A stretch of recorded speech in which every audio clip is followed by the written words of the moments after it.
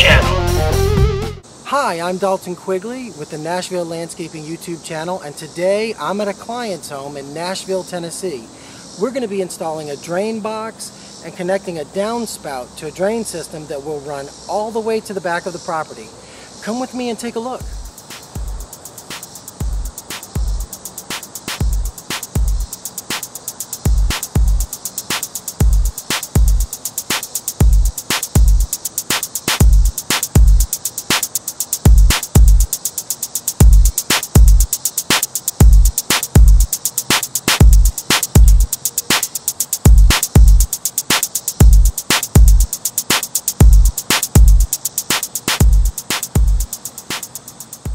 This is the downspout. Connecting a downspout to a drain system is a great way to get the water from one area to another. Okay, so today to find out whether I'm going to be doing the proper slope on the project, I draw a little diagram and I take some measurements using a sight level. There's a, there's a little bubble in here that lets me know if I'm level this way and this way. And all total, I can check my level from one end to the other and compare it to the proper slope and make sure that once water starts getting into the drain boxes, it goes in, travels through the pipe, and out the other end freely wherever we plan. So now I'm going to show you some parts that we're going to be assembling for the project today.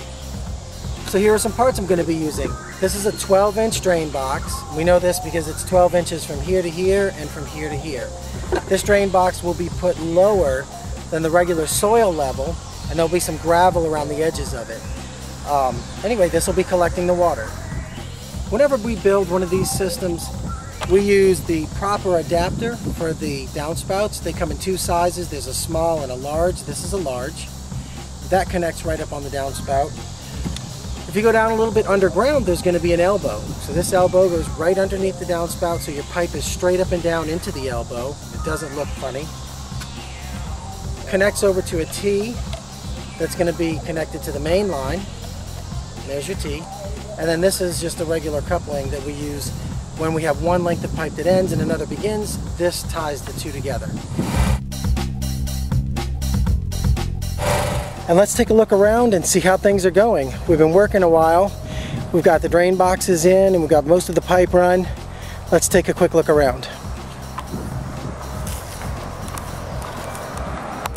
So right here we've got one drain box just off the driveway and it's actually lower than the driveway if you could see that. When the water pools on the driveway it'll fall off into that drain. This drain connects to this pipe which goes all the way back to a drainage area in the back. We've also connected this downspout, the downspout right in there and it runs right under this machine and runs right to here and connects in with that T that I showed you earlier and there's another one over there and then it goes all the way to the back.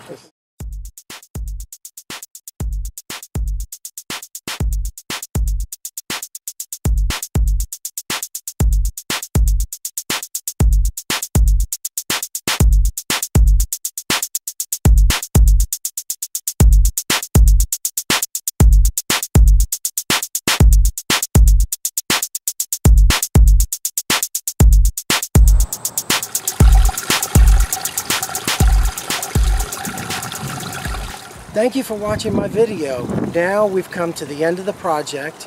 All we have to do is a little bit of cleanup. As you've seen, everything's graded really smoothly.